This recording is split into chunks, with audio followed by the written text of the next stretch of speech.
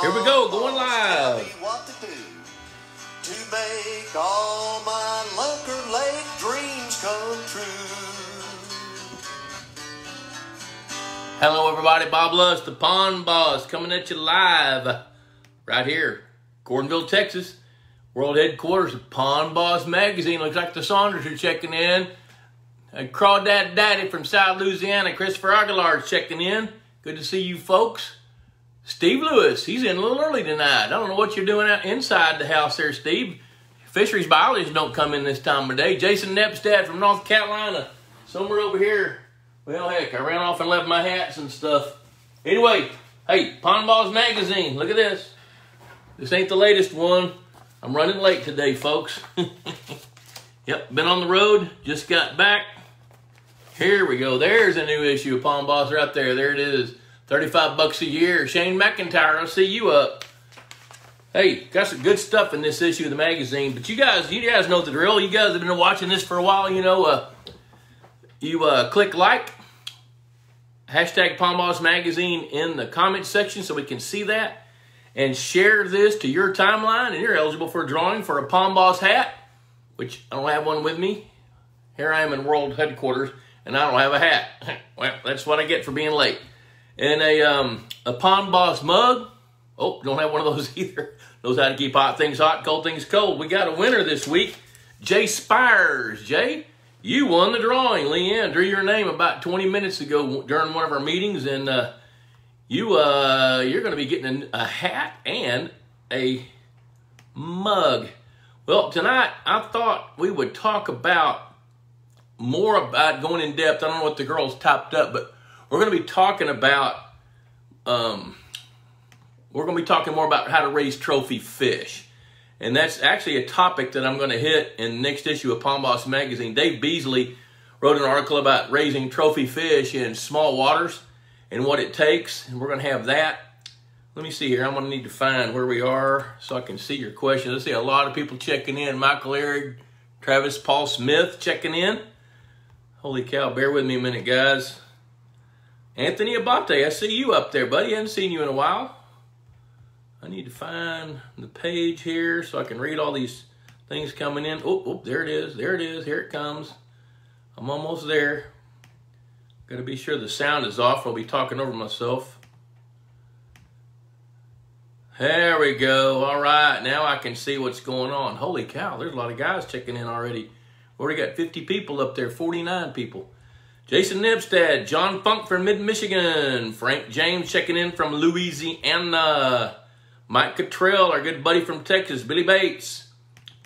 John Funk got rain today. Danny Mack, Danny Mack's checking in from San Antonio. Jack Hamilton from Indiana. Zach Cook, he's got the drill going on. Good to see Shane McIntyre. Ken Dowd, York Springs, Pennsylvania.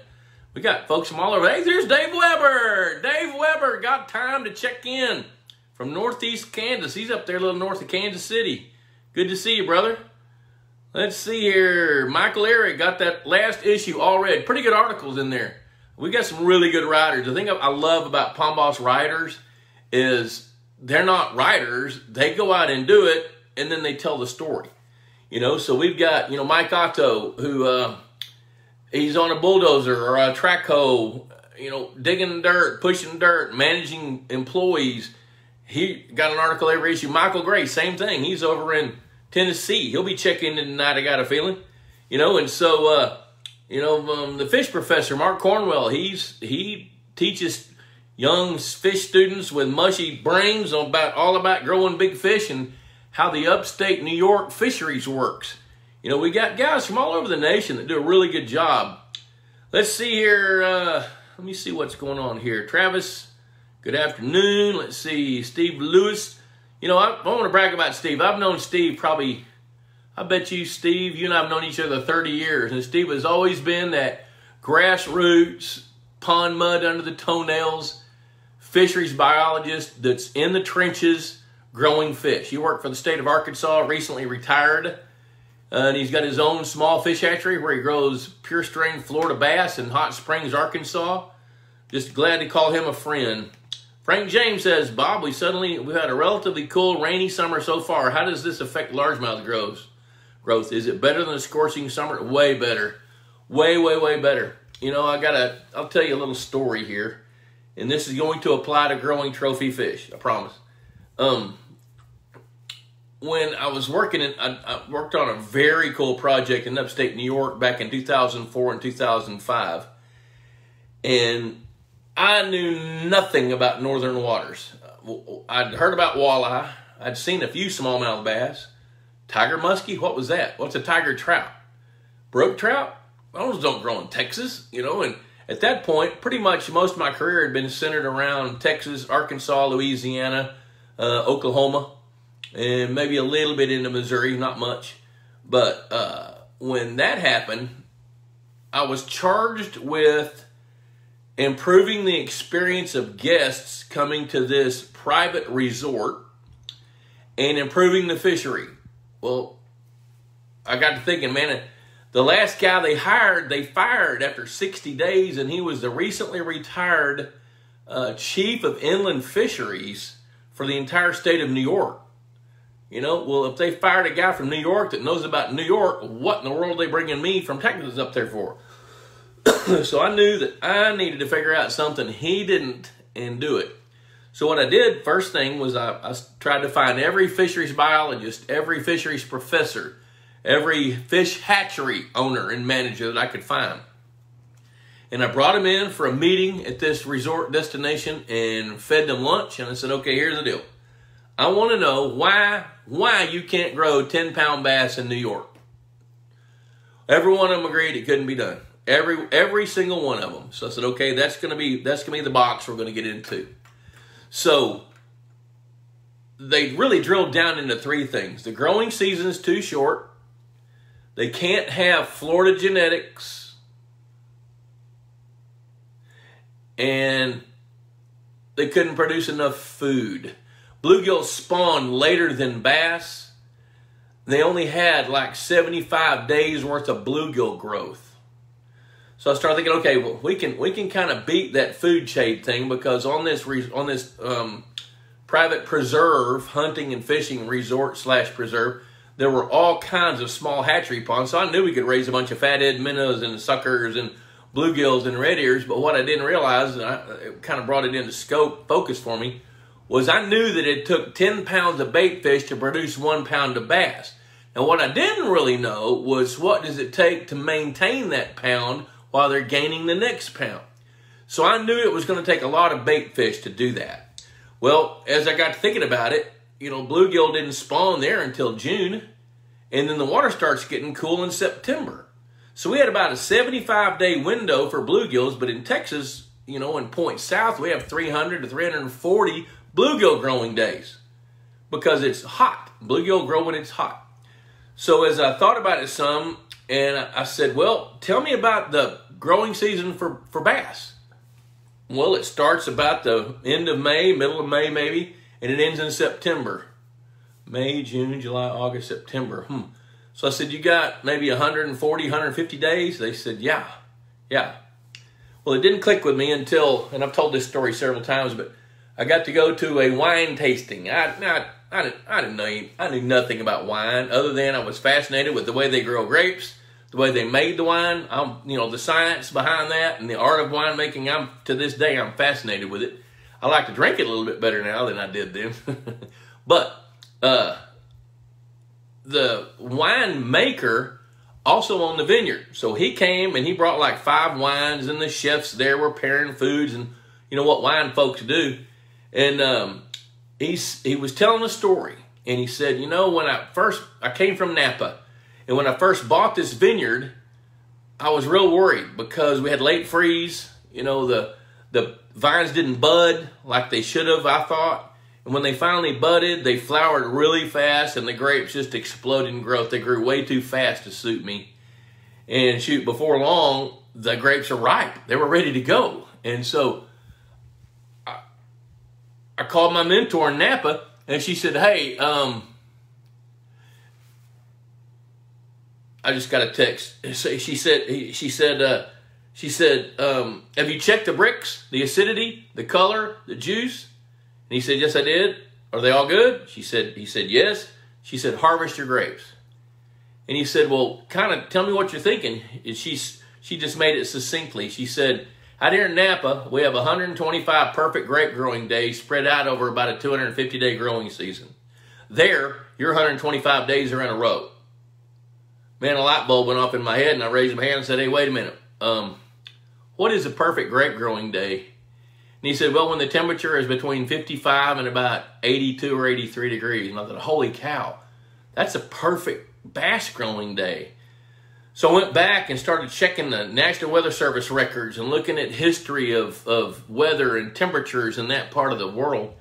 And I figured out that pretty much everywhere in the United States, pretty much, there's 125 perfect bass growing days in every state. That whether it's Nebraska, Texas, Louisiana. But the difference is in Texas, where I live, and even in Nebraska, you're going to have 125 perfect days spread out over a longer time because going to what Frank James is asking, when the water temperature gets above about 83 or 84, that perfect bass growing day is gone. Those fish are more worried about surviving the heat and the, their metabolic rate drops. They're not eating like they should. They're not gaining like they should. So I was able to take that out of the box. We had as many growing days. We just had to consolidate and make those fish grow as fast as they could in that span of time. So when you're getting ready to grow some trophy fish, you got to understand that you want to take advantage of those perfect days. That's why we say feed your bait fish two or three times a day when you've got the perfect temperatures for it. And right now, based on Frank's question, he says, um, uh, how does it affect largemouth bass growth? Every day we have where the water temperature's under 85 degrees, you know, that's a perfect bass growing day. Now, when you're getting up around 85, that's a little bit too warm. Now, keep in mind that the temperature, if you're not aerating your pond, the temperature at the surface is going to get scalding hot in the afternoon, and the temperature is going to drop 10 or 12 degrees in the top six inches overnight. So if you were to check the, if you were to check the temperatures in the morning, it'd be 10 degrees cooler at daylight than it will be 12 hours later, you know, during the heat of the, of the summer day. So the temperature at the surface, the top 10 or 12 inches, is going to fluctuate. But when you get down a little bit below that, it's going to fluctuate a little bit less. You know, so uh, the bottom line is, is, is yes, having a milder summer is going to influence our ability to grow more bass, bigger bass. So here's here's where I'm going to go. I want to scroll through these comments right quick try to stay ahead of that. Travis Paul Smith, Texas Hunter Feeders are full of that awesome Aquamax MVP.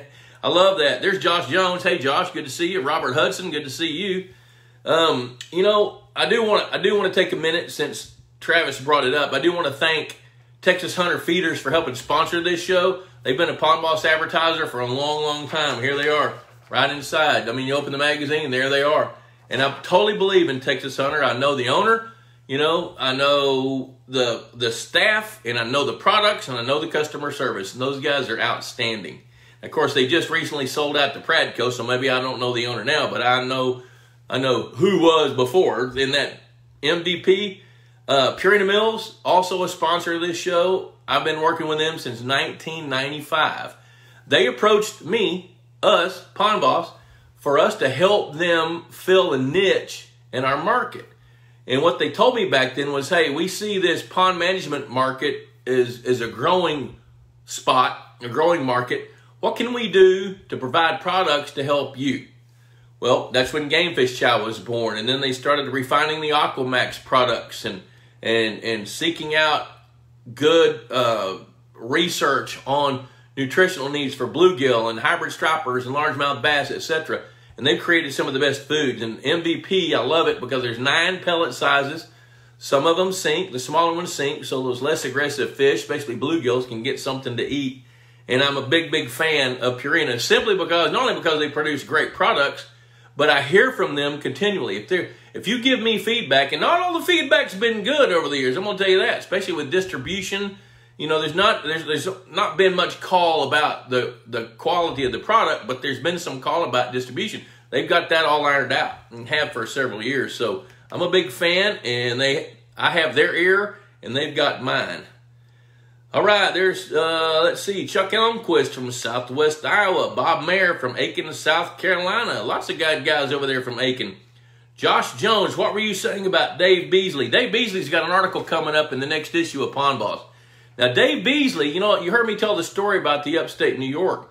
Well, we hired Dave Beasley when he was in college to work on this private hunting and fishing resort in upstate New York. That's where he cut his teeth. That's where he really started learning about fish while he was in college. He was at Cobleskill, SUNY Cobleskill. And um, uh, Mark Cornwell was one of his professors. And Mark introduced us to Dave. We brought him on board. Dave ran the hatchery program. We taught him there, and he would he'd come up on weekends and weekdays when he could because it was about a three hour ride for him to come over. But uh, and, and I've helped Dave become a writer.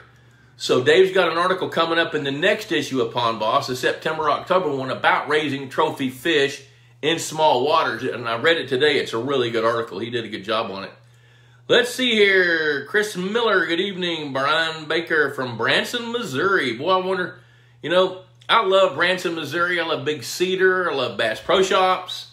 You know, Johnny Morris, all those, everybody there. Um, Hope you guys are doing well. I can't imagine what's going on in Branson with this damn virus thing going on. Chris Miller, evening. Kevin Wright, Travis, beard and stash looking good. Yeah, I did get a trim.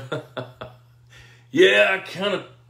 If I let that, if I let all this stuff kind of go nuts, my wife goes nuts. She don't like it. She wants me kind of doing it, keeping it good. Let's see here. Thanks for the compliment, Steve Lewis. Hey, Wayne Lancaster, watching Pond Boss at the pond. Woo! All right. Bosque County, good to see you home, buddy. That's great. Zach Cook, lately I've been seeing what I think are roundworms coming out of my bluegill's poop chute. That's a that's a scientific description. I like that. Is it something I should worry about? Um, you know, I've answered a lot of questions, and I've seen that. And the answer I'm going to give you is I'm going to ask you a question. Are they tapeworms or are they roundworms? Now, if, if you've got worms and you're feeding them, you can do something about it. But if you're not feeding them, that's not uncommon. We just don't like it. You know, now be sure the worms aren't poop. Like, here, I'm going to take, hey, Zach, listen to me. Do this. Squeeze your bluegill. Reach over there and pull that worm out and squish it and see what it does. If it's brown and gooey, nothing to worry about. But if it's got sections and it breaks off, it's a tapeworm. We can have that conversation. Let's see. Harrison Davis checking in from Georgia. Nathan Reisdorf. Good evening. Just wonder if South Texas gets a lot of rain this weekend from a tropical storm. Should I keep the aeration system running or shut it down and give it a week or two to settle out and keep it running? Now here's the here's the caveat on that, Nathan. When you've got your aeration system going, what, what we advise people to do is to run that aeration system from like 9 at night till 9 in the morning in South Texas this time of year so the water doesn't get too hot. So here's what I'm going to tell you. Run it like you've been running it. If you've, ha- if you've had it running on a timer for 12 hours a day, keep it on that. If you've been running it 24-7, keep it doing that. Because what will happen when you get that fresh water, it's going to dilute your water, whatever's in it. It's going to cool it down, but the aeration system is going to keep the temperature fairly autonomous and it won't drop so fast, you know, and it will be more stable. So run it just like you've been running it. Don't turn it off. Harrison Davis, what's the perfect minimum temperature for, for growing largemouth bass? Uh, the range is 55 to 83. The perfect temperatures are about 62 to 78. If you're somewhere, and, and if you really want to pick the perfect temperature for growing bass, that's going to be 68 to 75. That's when bass grow the fastest, if they've got all things equal. Let's see here. Tim Stewart's checking in. Any good source for tiger muskies in New York? I tell you what, uh, send an email to, let me think about it just a minute. They all come out of Minnesota. Um, you might talk to Nate Herman or Dave Beasley at Solitude because I'm sure that some will come to New Jersey in the fall. Yep. All right. Let's see here. Josh Jones. I've heard him tell that story about the New York. Yep. Well, yep. I got to help train Dave Beasley when he was still pooping yellow, since we're talking about stuff like that. Let's see here. Watching from the middle of Gulf of Mexico, Tate Smith. What? Good gosh, you must be bored. The tuna not biting or what? Let's see, 650 already. I'm going to kind of ramp it up because I know we got folks wanting to hear about trophy fish. Let's see what Lance Fredrickson says real quick. Hey, sir, I have a seven, a three quarter acre to one acre new pond in East Texas. Forage fish are doing fabulous and introduced this there this spring. I'm getting different advice on stocking the predator fish. I want to stock largemouth bass, but I'm debating stripers or catfish. I'm looking for a fun fishery that will eat a lot from, not caring too much about trophies. If you want to eat a lot of fish, stock catfish. You can raise more catfish per unit of water in a three quarter to one acre pond than you can any other fish. You know, if you want hybrid stripers, that's great. They grow fast. They won't supply the same amount of meat. You can feed either hybrid stripers or channel catfish and grow them really, really big but you can grow more pounds per unit of water of channel catfish than you ever will with hybrid stripers. All right, Matt Singley, I have a small pond around four acres. It's been on family land for years, and I've fished it a few times this summer, and I'm catching bluegill brim over a pound and a few over a pound. We haven't been feeding these fish. Do you think if we started feeding Purina MVP would help get these brim bigger than they are now? Absolutely, no doubt about it, yes, unless they've aged out. If they're seven or eight years old, you may get a, a weight gain, but then when they hit their age limit, like all of us, they're going to deteriorate. You know, so as long as they're fairly young, there's no doubt in my mind that MVP was designed to do just that thing. Let's see, Kelly Nathan Lewicki. Nathan just got done doing a lead treatment for my turtles, so your turtles got to use, got to exercise your second right, second uh, amendment rights. Then, currently running nine to nine. You bet, Nathan. Keep doing that, man. Scott Sumner have a lot of natural black willows around a pond of mine. Should I plan to take care of these at the right time? Or is an if it doesn't bother you, don't bother deal? Water levels seem to hold steady. Here's my only catch 22 about willow trees. There's several things I don't like about them. There's several things I do. Sometimes that's just the only thing you're going to grow for shade fast. But since they're fast growing, they also slough a lot and they transpire a lot of water. A full grown black willow tree will transpire 100 gallons a day. So the key statement in you, what you made there with your question is the water level stays up. You know, if you're out in the western states and you got willows, they're going to suck a pond way, way, way down. Zach squeezed them out last night, so he's ahead of me, and they were brownish red, not segmented, and I feed MVP twice a day. I don't think that's an issue, Zach. I don't. I don't. I don't. I don't think that's an issue. Now, what it probably is, is as some fish age, they're more susceptible to parasites. So if they've got worms in their bellies, that's not uncommon, you know, but it is uncommon for them to poop them out, which that usually means that they're there in excess. Next time you catch a fish that looks like that, go ahead and sacrifice it, cut it open, and take a look at it. Let's see here. Let me see where we are here. And I'm, I, pro- I promise you I'm going to get right back into that topic because I just want to get ahead here. Um, let's see. Whoa, I'm getting behind. Robert Hudson, my one and a half year old bluegills love Aquamax 500. Aquamax 500 is perfect for bluegill that size because it's Aquamax 500 is little bitty pellets, which fits right in the mouth. You know, 42% protein, fish meal based fish food, perfect for carnivore. You know, for, as far as fish foods go. So that's real good. Let's see. Greg Baker suggested literature for a wildlife biology student with limited exposure to fisheries management. Howdy from Sulphur Springs. Good to see you there, Greg. I would uh, spend some time on the on the Pond Boss forum, and um, of course, the American Fisheries Society's got all kinds of great literature. However, a bunch of that's just not applicable to small waters management. If you'll uh, look at at, at um, pondboss.com, click on Ask the Boss, look at the forum all kinds of really good advice. And we also have quite a few free articles and lots of videos that you can look at there as well. Brock Wren, how big of a risk to red-eared sliders pose to our ponds? Kill everyone we can? I tell you this, if a, if a slider catches a fish, the fish deserved it. uh, the thing that sliders, the only risk that sliders pose, they're not going to eat fish enough to affect the population. Now, what they will do is they can disrupt reproduction. They can disrupt nests. You know, they'll eat your fish food. So if you think they're too numerous, thin them out. You know, you can buy traps where you can trap them and move them and give them to your neighbor. There's Mike DeMint from Memphis, Tennessee. Good to see Mike. Calvin Perry Goforth on the issue of water. Whoa. I just scrolled down real fast here. Bear with me here. On the issue of water temperature in Bass was on Welsh the other day, and it's being a power plant lake. The lake surface temperature was over 100. Can you talk a bit about high temperatures and bass growth rates?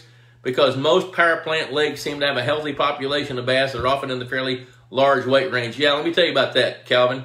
That happens in the fall and the winter because those lakes don't get cold. They don't get cold to get down under that minimum temperature like all the other lakes do.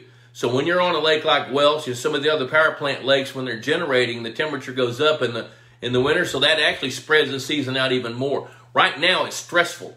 You know, now what happens? This 100 degree water temperature, that water is is is is, is less dense, so it's floating on top. If you were to go down and check 25 feet down, the water's probably going to be in the 80s, maybe the mid 80s, and that's where those bass are going to be. I'd be stunned if you told me you caught a 10 pound bass in three feet of water in a 100 degree lake. That would surprise me. I wouldn't say you were lying, but I'd think it. Um, Dan Snyder added Florida bass fingerlings last summer. We're currently removing any bass under two pounds. Should we stop? Should we? Yeah, I would. I'd change that. Uh, when you put Florida bass fingerlings last summer, they're a year old. You don't need to be removing any bass. You need to remove zero bass. Now, here's the way I see that. A, a year later, I'm, now I'm, I'm making an assumption here based on what you've typed. The uh, the I'm assuming that this is a brand new lake with brand new stocked forage fish and brand new bass. You don't need to cull anything, anything at all. You don't even need to think about culling anything, and depending on your stocking rates, probably until at least two years. So if you're culling bass at under two pounds, you're probably taking the very best fish off that fishery, taking them out, and you're going to mess it up. So I wouldn't take out any bass at all in that um, time frame. Now, I'm, I'm, I'm making some assumptions here. All right, Greg Baker, perfect. Thank you. Got it. Yep, yep, yep. See, Chris Miller, any recommendations for establishing aquatic vegetation in a new pond? Has about four feet of water in it currently, southern Indiana with clay and shale. Um, I'll tell you this. I don't usually plant plants. I wait to see what nature's going to do. When you get some migratory waterfowl coming through there, you're going to get some seeds coming out of the south end of a northbound duck, and uh, you're going to be able to to have some plants growing. Now, if plants don't grow, it's not necessarily because they aren't there. It's because the conditions aren't right. You don't have the right amount of topsoil. You don't have the right fertility. You don't have, you know, if water fluctuates, it's harder for fish to, for plants to, to get established. So I like to wait 18 months or two years. Actually, I like to wait a couple of years before I think about planting any plants and see what grows. And nature typically grows something, and if you like it, we keep it. If you don't, we change it. And that's how I like to do things. Let's see here. Um, Harrison Davis, no one of the sunny arrays in the state grows huge bass. There you go. Brian Lawrence, been making ceviche with bluegill and wipers. I love ceviche, especially made with, with bass, bluegill, and wipers. Who was told not to use freshwater fish due to worms. Baloney. I don't believe that at all. I don't. I don't buy that at all. Uh, uh, now there there may be some fish somewhere that like Japan that you shouldn't do that with, but I have not come across that circumstance, that warning at all with freshwater fish in private waters.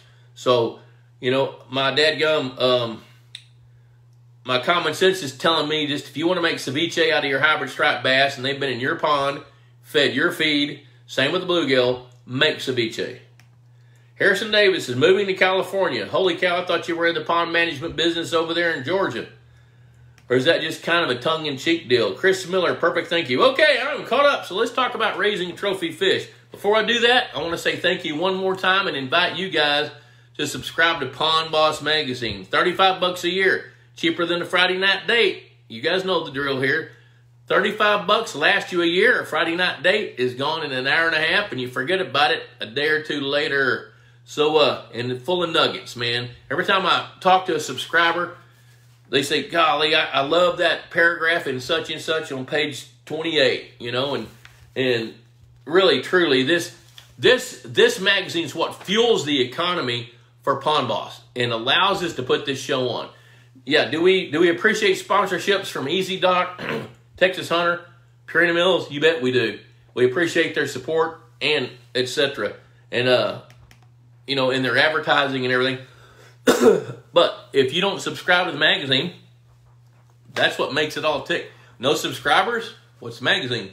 You know, and so uh, we do we do need to keep keep growing that subscriber base.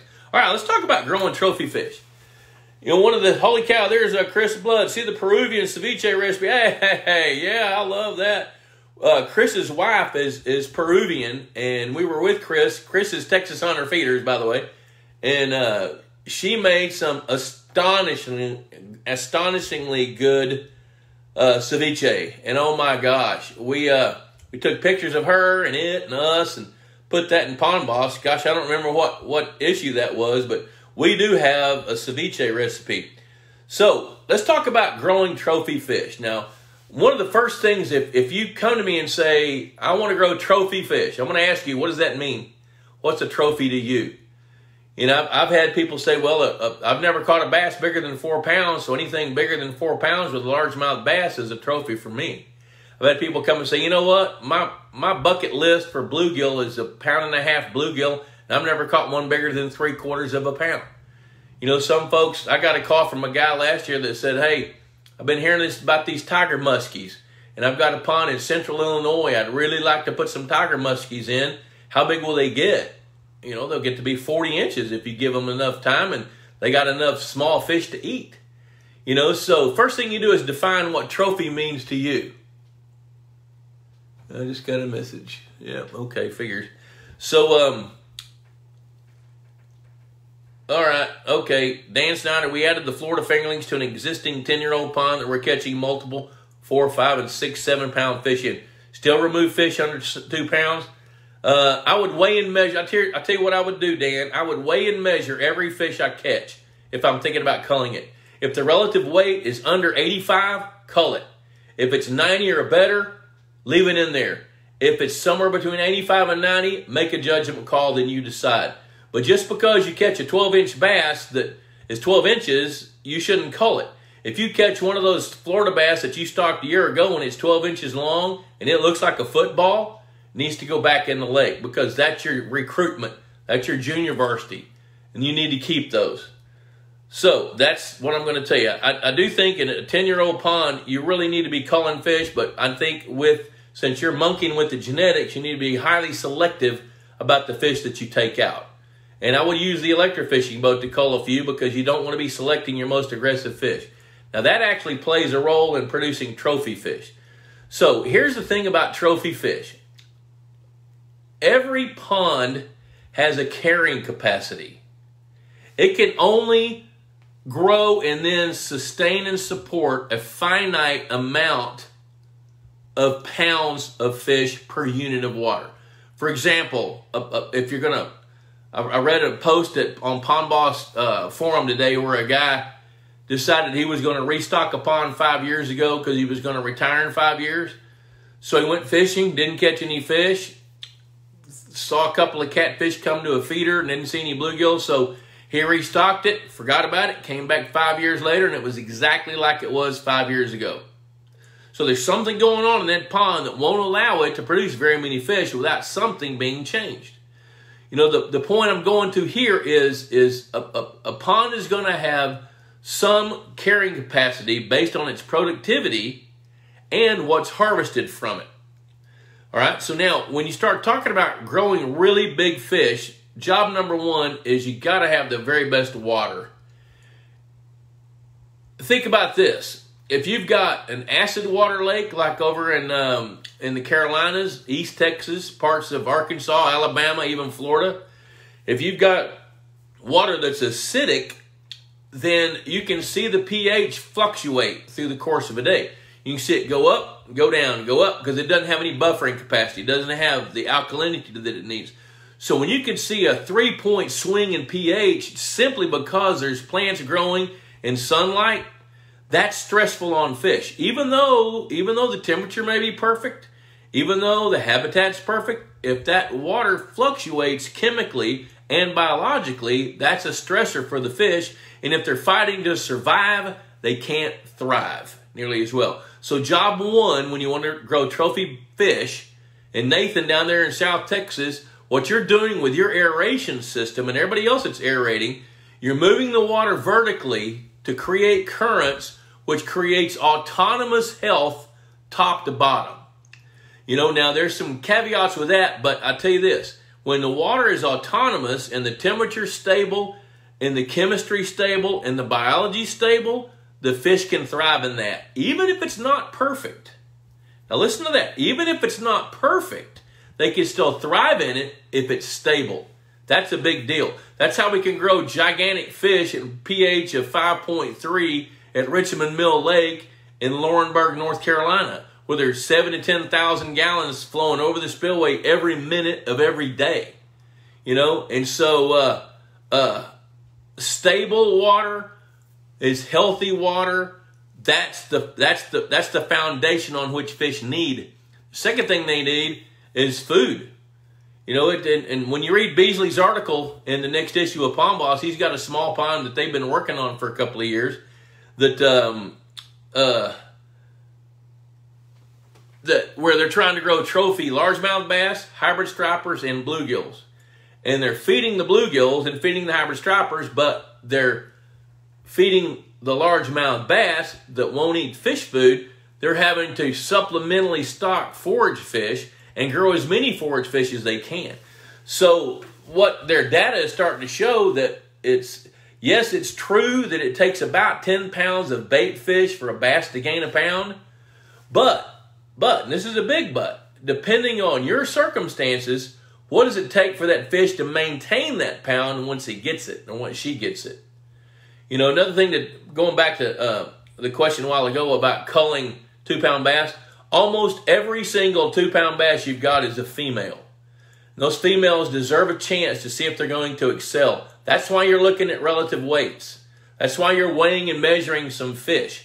You want to judge their growth rates, you want to judge their body condition. So just because it's two pounds doesn't mean it needs to be chunked.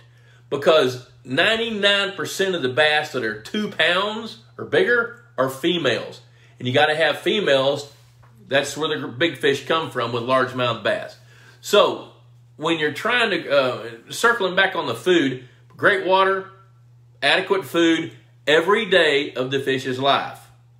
Now, if you think about that, if you're depending on your pond to grow all the food that it needs to produce your trophy fish, you're going to be behind the curve at some point because fish spawn, then they quit.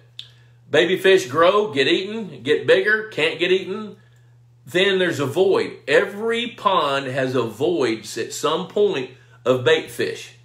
Now, if there's not a void, that means that your predator fish are in low numbers and the bait fish are going to gain a foothold and grow larger and expand their population and take up more space. So that's where it starts getting a little bit complicated, and that's when you do a balancing act with your harvest plan. Like we are talking about earlier, harvesting two pound bass. So, uh, where I'm going with this is is we know it takes 10 pounds of bait fish for a game fish, whether it's a bluegill or a channel cat, a hybrid striper, a largemouth bass, a smallmouth bass, a yellow perch. It takes 10 pounds of bait fish for those fish to gain a pound. It takes 10 pounds of living food. Now think about that a minute. That living food, if you were to take 10 pounds of shiner minnows, fathead minnows, bluegill, whatever, and wring them out, you're going to have a little over eight pounds of goodies. I mean, that eight pounds of water and two pounds of goodies. So that conversion rate, when you know, when you start listening to the guys with uh, feeding fish food, their conversion rates are 1.3, 1.4 to 1. Those conversion rates are dry weight. Now, what nobody really has figured out, because it's based on each circumstance, is what does it take for those fish to maintain that pound once they gain it? So what does it take for a 10 pound bass to stay 10 pounds? We know it's going to have to eat a pound to get to 11, but what does it have to eat to stay at 10? You know, and the numbers are starting to look like, in my opinion, that it's going to be closer to 20 pounds of bait fish per pound of gain to gain it and keep it. Now, sort that's going to be determined by energy use, which revolves around temperature, how far that fish has got to go to eat, how many meals it's got to eat. If it can eat, like if a 10 pound bass can eat a one and a half pound bass, that's way, way, way more efficient than if it's got to go chase down five or six five inch bluegills or seven inch bluegills or a half pound gizzard shad or whatever. So, bottom line is you got to supply your forage fish. Now, if you really want to grow some big, big, big fish, I believe supplemental feeding is very important. Supplement supplemental feeding the bluegill. If you feed the bluegills, you're going to see fecundity go up. You're going to see body condition go up. You're going to decrease their competition in the food chain naturally. Well, if you want to call feeding natural, you know, um, because let's face it, if you're wanting to grow some trophy fish and you want to scoot around the time frame that it takes for it to happen in nature, which is a long time, you know, then you're going to have to you're going to have to do some husbandry things. You have to treat your pond more like a feedlot and less like a natural pond. Now, that's a personal choice. I have guys tell me, I, I don't want to feed fish. Had a guy call me from Wisconsin day before yesterday, said on Sunday, I guess Sunday afternoon, he called me, he got my number off of one of these videos, and, and I guess I lost my mind and put that number out there. Not really. But uh, anyway, he called me, says, hey, I'm in Wisconsin, and I've been hearing you talk about feeding fish. Is there anything I can do other than that? Because I really want my pond to be natural. Plus, the state of Wisconsin frowns on feeding the fish. They really don't want us feeding fish, in which I knew that. But um, I said, you know what? If you want to speed up the process, you feed the fish. If you want to grow bigger fish, you feed the fish. If you want to grow more fish and support more fish, you feed the fish. You know, now, what I told him his choices were, he's up in fathead minnow country. If you want to try to grow some big smallmouth bass and some big walleyes and start start buying those fathead minnows by the gallon bucket and start feeding them fathead minnows. Feed them as many bluegills as you can get. Feed them as many fatheads. Now, of course, some of the guys out there are going to start shaking their head and say, well, doesn't that cost a lot of money? Well, so does a bass boat that you're never going to catch a 10 pound bass with. You know, so it, to me, that's all relative. Um, if you're going to, if you want to grow trophy bass, you got to supply the food, whether it's living food or food coming out of a sack, coming out of a feeder. So both ways, and I think if you're going to grow big, big, big fish, and multiple species in the same pond, you need to be doing both. You need to be supplementing crawfish, tilapia if you can, if it's legal, bluegill, the right kinds of minnows at the right time. Now, another thing about trying to grow trophy fish, timing is huge. When your pond is producing the most fish, uh, you guys that know anything about deer hunting, you know that in the fall, when the mast is high and there's acorns all over the ground, those deer are not going to come to your protein feed. You know, the same thing in a pond. When you've got abundant forage fish, they're going to rely on that. But what you got to figure out, just like with the deer, when when they're coming out of the winter, you they better be being fed protein because now you got a bunch of pregnant does, you know, that are getting ready to lactate, and everything's under snow or gone, you know, and you haven't had any spring growth yet. So you got to be supplementing. Look at your pond the same way. There's going to be voids. Now there's several ways to check those voids. You can you can survey it, you know, if you if you've got a pond that you've built, be sure and leave an open area where you can pull a seine around. Go go buy go to Memphis Net and Twine and buy a 50 foot seine, six feet deep, and uh, get one of your buddies and you guys go seine shallow areas. And as long as you're finding abundant numbers of a variety of different small fish, you're good. If you start seeing their numbers diminish, think about stocking some more if you really want to grow great big fish. So, growing big fish Takes a lot of food, good, clean, healthy water, but what else does it take? Somebody say something.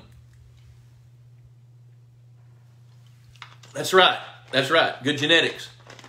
You know, if you take a, a, a typical, and I saw Trey Carpenter, who's a Trey is a, uh, I didn't get to say hi to Trey a while ago, but he's a wildlife biologist, retired from the Texas Parks and Wildlife Department, stellar biologist. And he manages some ponds as well. And, and he'll be the first one to tell you that if you're going to look at genetics, a deer that looks like that, that ain't it. You know, now of course every once in a while one of those little spikes will grow up and be something special, but not normally. You know, so you got to figure out what are the spikes in your pond and figure out when you need to cull them and when you need to feed them. You know, and so uh, uh, where I'm going is um, good water, excellent food, fill the voids, Figure out when that is, line it up with your pond management company. Go ahead and bite the bullet and buy something. You know, whether it's tilapia to reproduce, crawfish, minnows, more bluegills, fill the voids. But in order to fill the voids, you have to know you have one. The third thing is genetics. Uh, that's what I was talking about with the deer. Yep, genetics. If you don't have great genetics, don't expect to have great fish.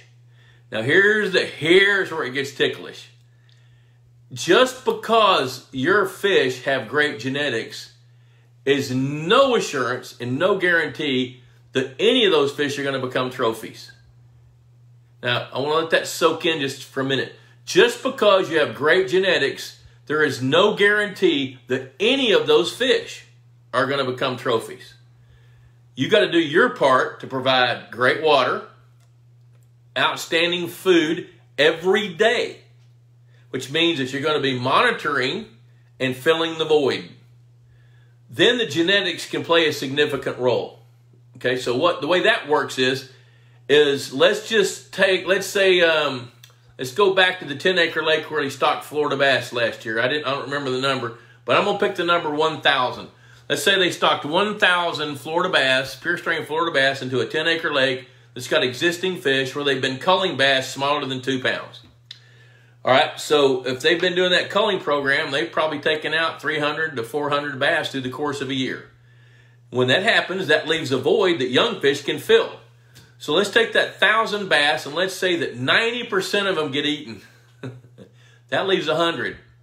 Out of that 100, and that's not unreasonable, that can happen. And I, I would expect that to happen.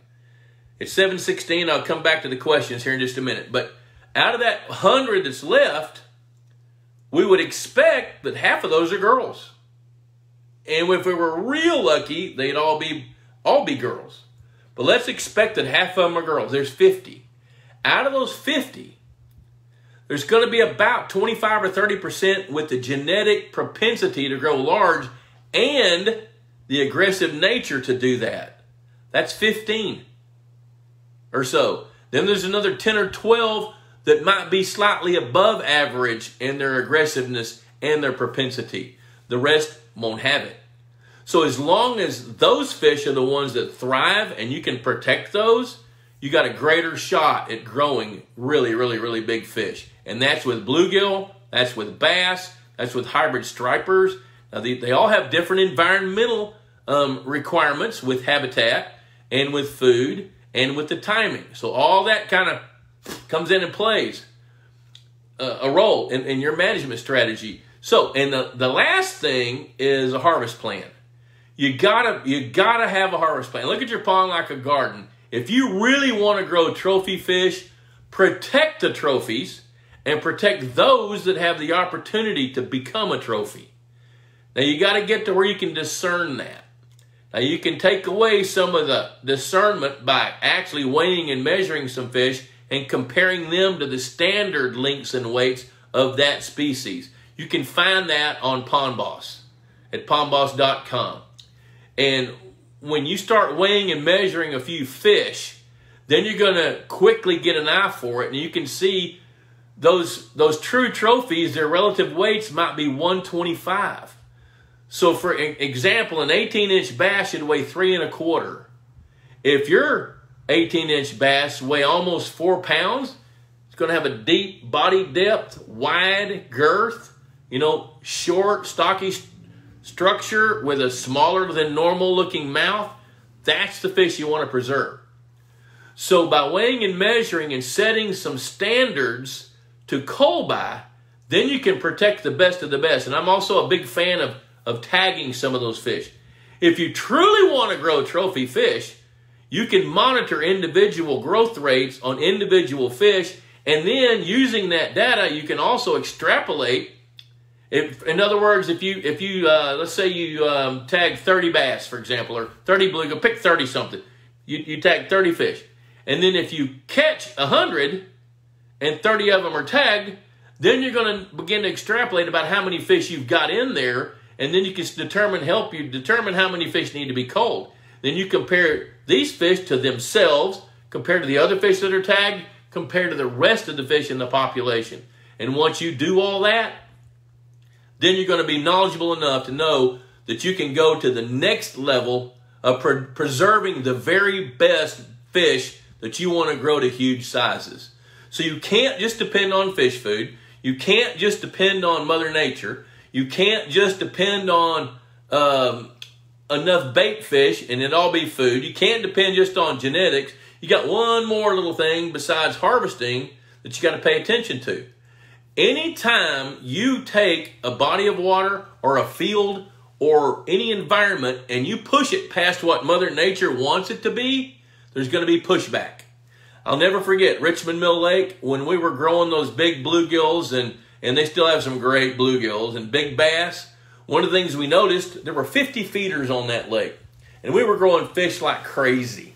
Food bill was $25,000 a year, but it was worth it because what we were getting out of that acid water. We grew some huge fish many of them are still there to this day. We started that in 2005 or 6, 2006, I think it was. And oh my gosh, within three years, we were catching bluegill a pound and a quarter, pound and a half. Fourth year, two pound bluegills. Fifth year, sixth year, two and a half, three pound bluegills. Well, what we also noticed, here come, we saw an alligator one day. Ospreys built a nest and they began to breed. Uh, bald eagles showed up. one thing we noticed, a couple of feeders seemed to be going empty faster than the rest of them. They're all sitting on on um, um, stands out in the water. We would fill them from a pontoon boat. We we could we had a, a barge where we could put uh, a pallet of feed on it, and they go fill up all the feeders at once, and uh, which was pretty cool. Uh, but we noticed a couple of the feeders timer set the same, so we set up some game cameras. Raccoons were swimming 40 yards out in the water climbing up on the, the little platform, spinning the spinner on the feeders and eat the fish food. So the caretaker started setting traps. In two weeks, he caught 98 raccoons eating fish food. 98. Cormorant showed up, river otters showed up. So when you start trying to push your water beyond its natural limits, you're going to garner the attention of somebody else out there that wants to take advantage of your hard work. I've had more calls this year about river otters than all the other years combined. You know, guys are beginning to see that river otters are a problem. I saw Dave Weber back up there. I think Dave made a comment. So I'm going to take a few minutes and go back. So that, that's pretty much the, the um, conversation I wanted to have about growing big fish. That's a really good start. Let's see, there's Chuck Brinkman. I had somebody call me referred by Bob Brinkman today, Chuck. A guy over there in uh, south of uh, St. Louis somewhere. Let's see. Dan Snyder, thank you. You bet. Mike Cottrell, can you add gypsum this time of year? Yes, you can. Willie Howe. Willie Howe, my neighbor, checking in. Jeff Thompson, bushy pondweed and about 15% of the shallow water. Oh, what point does it become a problem? What would you treat it with? Well, here's the thing. This time of year, you got to be careful about whether you treat plants or not because if you kill plants too many right now, the herbicide isn't going to take you out, but the plants dying and decomposing sure can. So you got to be picky about how many plants you kill and when you do it. Um, 15% really is a good number. I like 15% because think about it. If you got bushy pondweed in 15% of the water, it is a safe haven for your young of the year bait fish. So if you're young of the year, now this goes back to the discussion about trophy fish. If you've got baby bluegills, for example, and if you got a bass lake, you got baby bluegills, or you don't have a good bass lake. When those baby bluegills are first hatched, about that big, you know, little bitty scooters, 12,000 of them weigh a pound. If you can keep them alive 45 days, they're 30 per pound, about that big. Now, when that happens, they become something more significant as a forage fish. They can hide in that bushy pond weed. They can feed in it. Now, they're not necessarily going to eat the pondweed, but they're going to eat what's clinging to it with periphyton, uh, small insects, zooplankton that are in there, microscopic little critters and things that, that, that thrive in that environment that protects them. So they're protected, plus they have some food. 15% is a good number. Now, if it gets up to 35 or 40% covering a pond, that's getting to be invasive for fishing, and it's getting to be a little bit invasive for the fishery. Once it hits about 50 to 60%, now you're in trouble. If it gets beyond that, ugh, harsh. But 15%, actually, I recommend that much. I don't like to see it get much beyond 25 because then it's invasive for your enjoyment of the pond. Uh, if you're going to treat it, you know what? I, I, I, have to tell you, I, I stopped treating plants about 10 years ago and I delegated that. Uh, but back when I was still treating plants, if I were going to choose herbicide for um, bushy pondweed, I would pick Aquathol. However, if Kelly Duffy's watching tonight, he'll chime in and tell you something different because there's some newer products, more efficient, less costly products out there now. But all I can tell you is what I know. Let's see, Chuck Brinkman done said howdy do, Chuck. Good to see Chuck. Let's see here. You feed the fish, you feed the fish, you feed the fish. That a boy, Dave Weber. Good to see. I'm Dave. I'm glad you're back on here. I haven't. I've missed you, pal. Harrison Davis, if you could go back in time and look at some natural ponds with bluegill and bass and other native fish, how much vegetation, fallen logs, etc., cover would you see? If I designed it, knowing what I know now, uh, I tell you what I would do. I would be doing about 25 to 30 percent of the entire pond with a variety of uh, habitat. I see Josie texting me. Hi, Josie. I'll read your text when we finish up here in a few minutes. I'll get right back to you. Um. Anyway, uh, I would like to have 25 to 30 percent of that body of water with a variety of habitat where I can maximize reproduction of the forage fish, minimize, listen to this, minimize reproduction of my sport fish because I'm not worried about recruitment, especially of largemouth bass. And if I want to grow big bluegill, I don't really want them to reproduce that much. But if bluegill are a forage, I want them to reproduce a lot. So I want to provide a variety of habitat, such as American pondweed, eelgrass, some of the uh, sedges around the edges, things like that. I'd want to have some fallen logs for the bigger fish. I'd want to have some channels and cuts and humps and things like that. I'd want to have 30% of the pond. Here, here's one of my one of my sayings I figured out years and years and years ago. I still believe it. 90% of the fish are going to live in 10% of the water of any pond on any given day. Now, if you think about that, there's some truth to that. I've seen it over and over and over with my electrofishing surveys and draining ponds and catching fish and sampling fish. 90% of the fish are going to live in 10% of the pond on any given day. Now, that 10% changes with the seasons. In the summertime, they're not going to be up in that 100 degree water. They're going to be out in deeper water, right against the thermocline or right in the thermocline, close to structure if they can find it. That's why underwater humps are great. If you got some underwater humps that kind of stick the top two feet up out of where your thermocline is, and you've got some enhancements on that, like rock piles or some brush or things, it's going to hold fish. You know, so that that's my answer to that.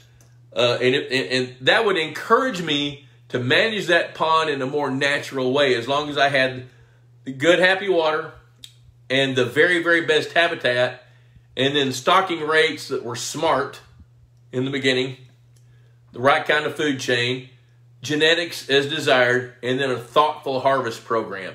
You can grow some big bass in natural ponds. You really can. I mean, just look around. All the state records come out of big bodies of water, and there's reasons for that. It's because all those things have come together for those fish to grow large. And if you can replicate that in a pond and manage it in a natural way without feeding fish, without fertilizing, you know, without a whole bunch of this other husbandry stuff, you can grow some big fish. You just can't grow as many. Okay, let's say uh, 1820 or 1720. Um, I dress different. I know that.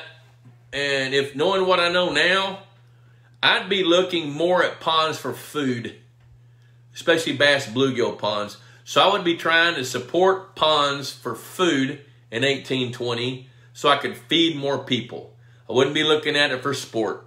So that means I'd be looking at ways to produce the most bait fish and the easiest ways to catch the fish that I wanted to eat.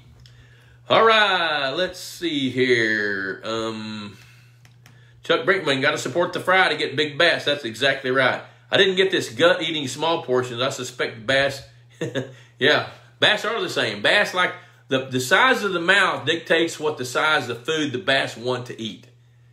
The bigger the mouth, the bigger the food they want to eat. That's why they have a big mouth.